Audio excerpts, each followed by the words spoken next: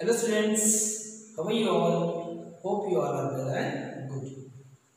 We are going to start with a new topic that is living and non-living things. In this topic, we are going to learn about natural things, human-made things, living things, non-living things and characteristics of living things. Now for today's period, we will start with natural things and human-made things. In our daily life, we see number of things around us. They may be natural or human-made things. Natural things, the things which are not made by human, means the things which are naturally present in our surrounding. Examples: sun, moon, stars, water, air, animals, plants. They may be living or non-living things, but human-made things, the things which are made by humans, like car, house, pen, table, etc. Human-made things are non-living things. Now see one picture is given there in your textbook on page number 29. In that picture so many things you can see. So among that which things are living things and which things are non-living things that we have to write. So can you tell me which things are living things? Yes. Boy is there. Dog is there. Bird, correct. Butterfly, correct. A man, yes. Okay, so these are living things. And can you tell me the non-living things? Okay. House is there.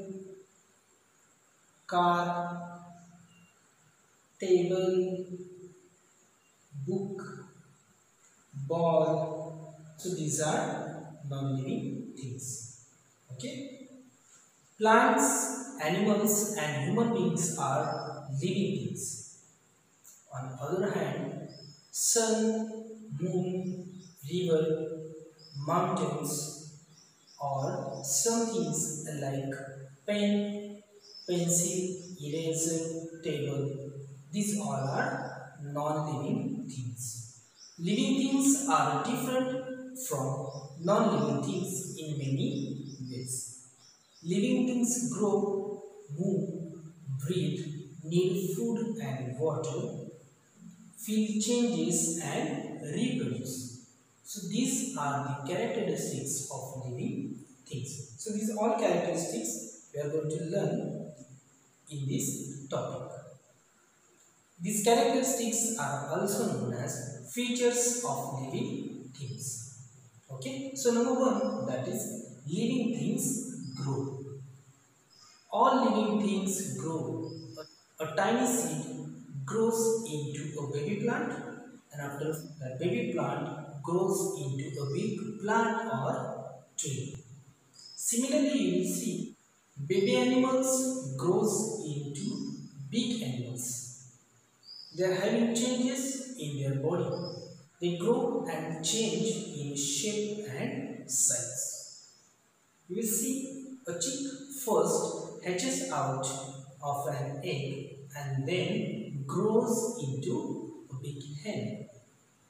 A human baby grows into a child. A child grows into an adult and then adult grows into a old person. Does your pencil or pen grow? No, because non-living thing does not grow.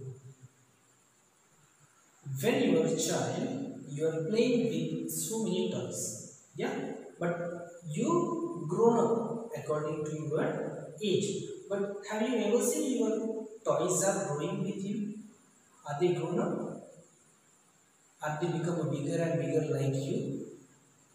No. Why? Because these things are non-living things and non-living things does not grow. So this is the first characteristic of living thing. So what we have learned today? We have learned about natural things, human-made things, living things, non-living things and also we have seen the first characteristic of living things that is living things grow. Okay? Okay, now I'll give you new words. That new words you have to copy in your notebook. Also recite them. Find from the lesson and underline. So number one is natural. Number two, human made. Number three, living. Number four, non-living. And number five, features. Okay, so are these all words.